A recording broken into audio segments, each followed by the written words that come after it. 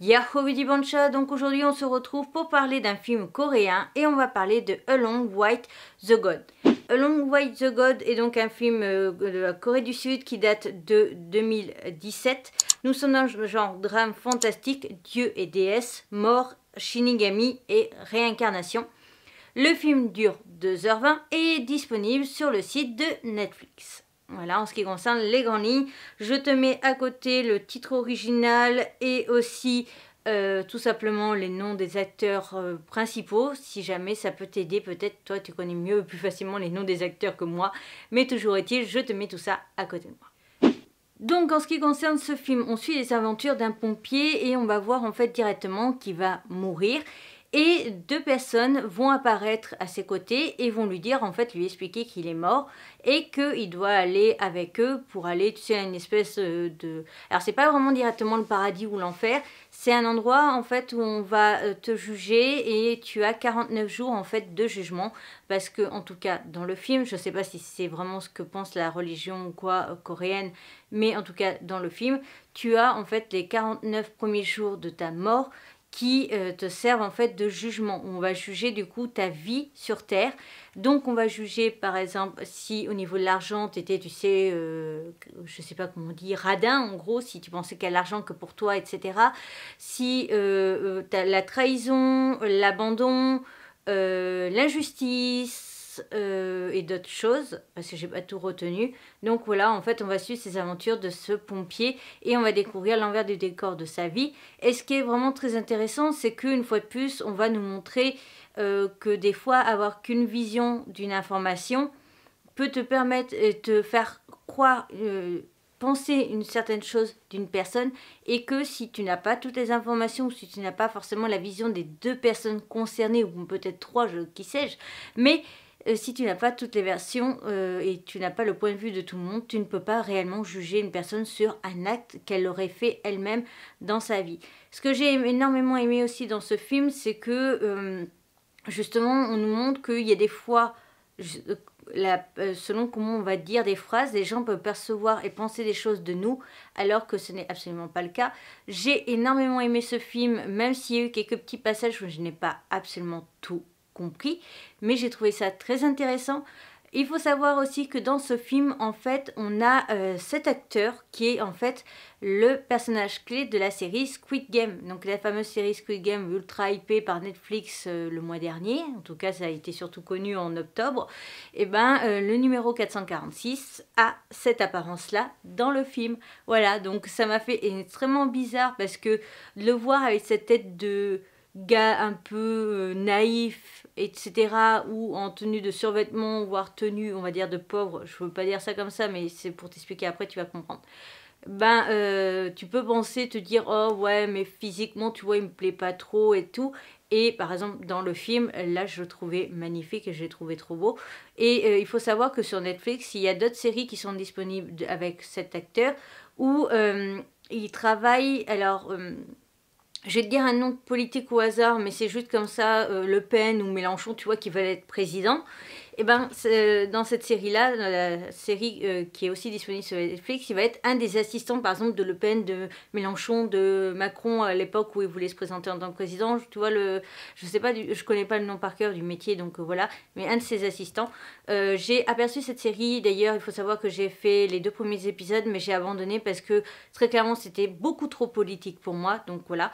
Pour ce film-là, je l'ai vraiment adoré, j'ai vraiment aimé comment on a travaillé ça, j'ai aimé qu'on ait aussi travaillé pas que le personnage mort, mais aussi les deux personnes qui sont de sa famille, qui sont restées sur Terre, euh, leur vision des choses de cette mort, etc., comment ils réagissent et comment ils se sont comportés via la mort du coup d'un des personnes proches pour eux.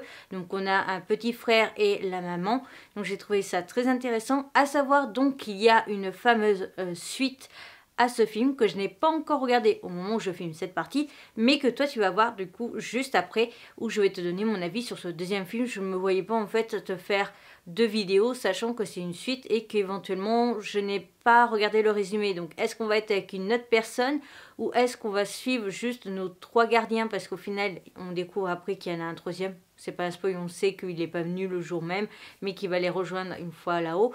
Donc voilà, donc en tout cas, moi, très bon avis, j'ai trouvé le film plutôt sympa, plutôt intéressant. Ce que j'ai aimé aussi, c'est de voir un peu cet envers du décor de qu'est-ce qui se passe après la mort.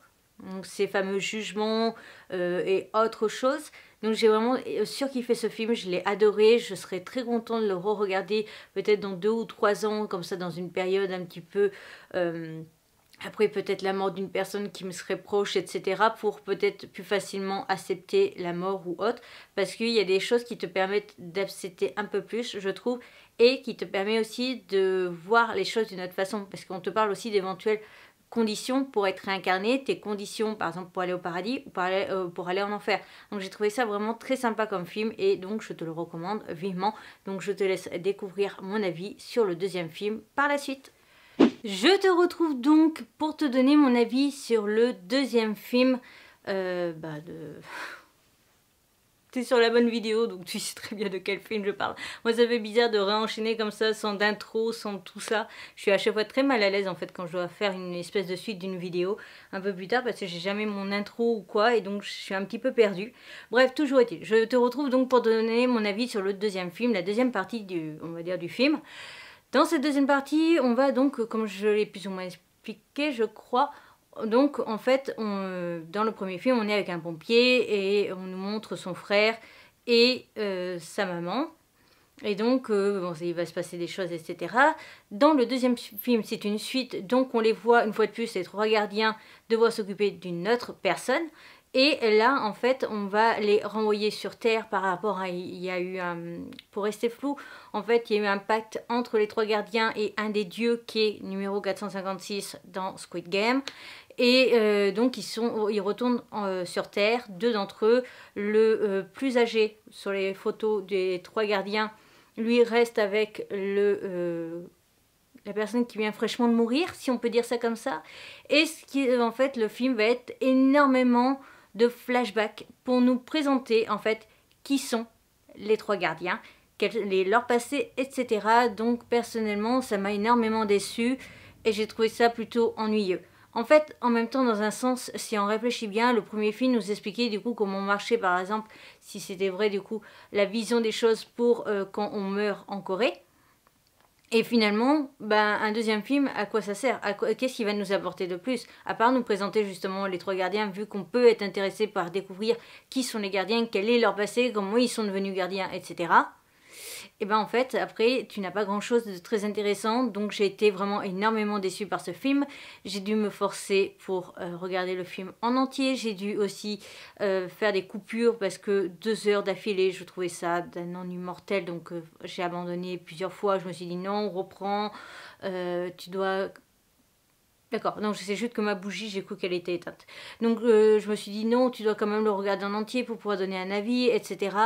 Et euh, je l'ai coupé en je sais plus combien de fois tellement que ça m'a saoulé. Voilà. Donc je suis énormément déçue. Mais après, voilà, je sais dissocier en fait le, film 1 du film 2. Le film 1, j'ai vraiment aimé, j'ai aimé le concept, j'ai aimé le truc. Je l'ai regardé d'ailleurs les deux heures d'affilée.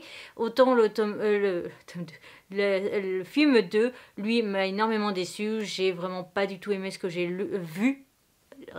Réflexe et lapsus de manga. Voilà. Bref, toujours est-il. Euh, donc, est-ce que je te conseille ou pas ces deux films? La réponse est oui pour le premier. Le deuxième, passe ton chemin très clairement, ça vaut, euh, ça n'a aucun intérêt, ça vaut rien du tout.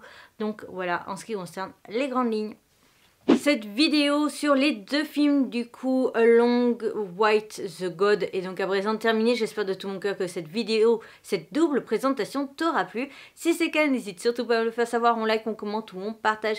N'hésite pas à me dire quel est toi le film euh, qui est disponible sur Netflix que tu voudrais que je présente éventuellement. Je te retrouve donc bientôt pour une nouvelle aventure, mes deux précédentes vidéos films ici, ma tête de panda pour t'abonner, mes réseaux sociaux et le compte Vinted. Sur ce, je te retrouve bientôt pour une nouvelle aventure. Bye bye